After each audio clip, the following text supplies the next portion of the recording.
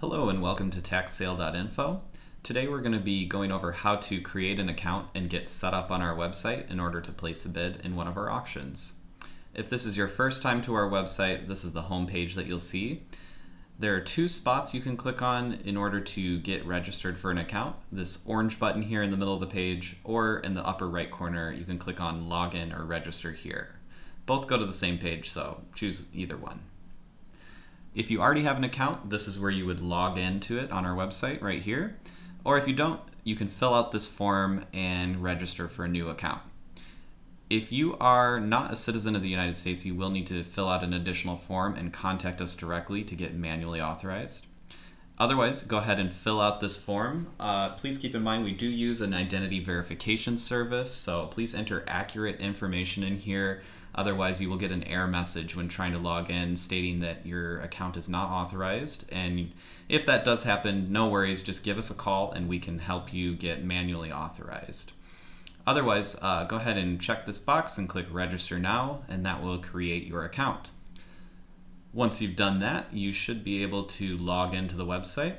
So we'll go ahead and jump ahead and log in with an example account that I've created here. Go ahead and enter your username please keep in mind that this is not necessarily your email. This is going to be the username that you selected when filling out this form on the right side here. Whatever you entered in this field here is what you'll want to use when logging into the account. So we'll go ahead and do that. And the first screen that you'll see is the My Account page. Uh, this is the going to automatically open every time you log into the website. And in the middle of that page, you'll see two different boxes. The pink one is stating that you are not authorized for online bidding yet. You will have to do a $1,000 pre authorization on a major credit card in order to do so.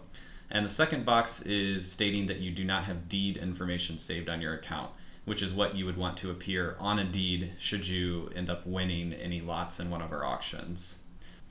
For our purposes for this video, we're just going to focus on the authorization hold and entering deed information, which are the only two steps you'll need to do prior to placing a bid. We'll go ahead and get started with deed information first. You can click that link in the yellow box to take you to this page where you select the party type, which would be a married couple, a single individual, or a business or other entity. A single individual does not mean that you are marital status single, but rather just one person on the deed. That person can be married or single, it doesn't matter. We'll go ahead and select that as an example, and then you choose between single man, single woman, married man, married woman, or a woman as their sole and separate property. For this example, we'll just choose a single man and enter some example information here.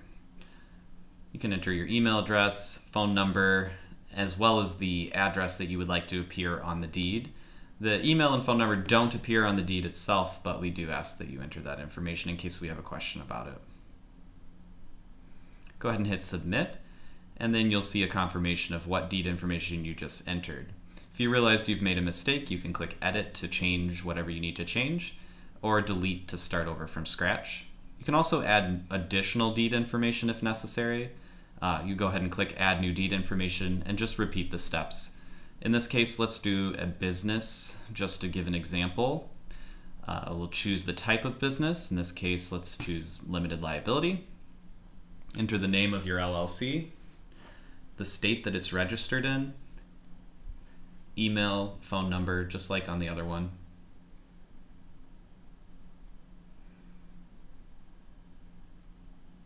And then the address as well.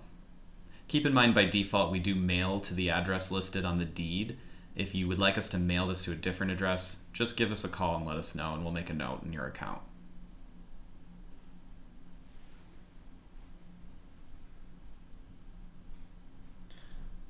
All right, once we've entered that information, your second deed info will appear here and you can do with what you please, editing or deleting or changing however you need to.